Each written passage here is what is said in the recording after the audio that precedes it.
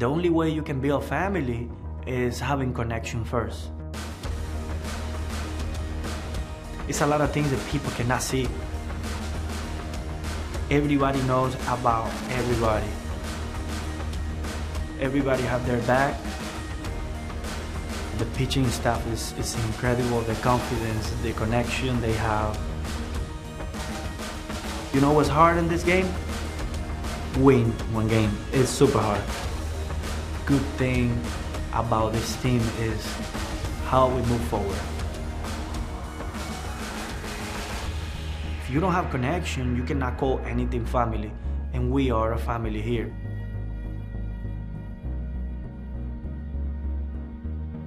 I got to start from, from my school. My school was the Yankees. Uh, my school was Andy Pettitte, Mariano Rivera, CC Sabathia, A-Rod, uh, Jeter. They they teach me how I can have connection with people, how I can see things uh, in a different way, how everybody is different, how to deal with personalities, you know. So in, in this team, we have uh, a young team. No one call any of my guys superstar. For me, they are superstars.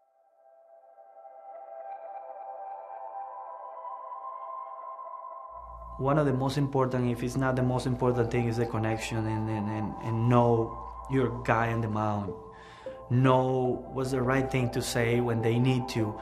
Uh, the way you walk to approach, the body language, the tone of your voice, um, how you can adjust a reliever pitcher with only one pitch or just watching him in the warm up thing. You know, it's, it's, it's a little, little bit everything.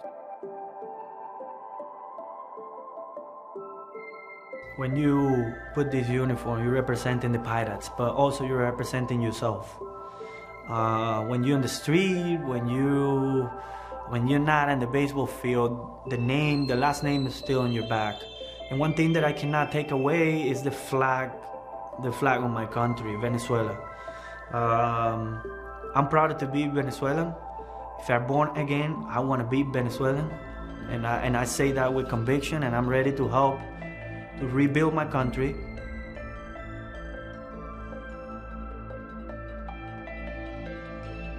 Everybody got to do their personal part, uh, and then we put it together, and that's that's what you call a team.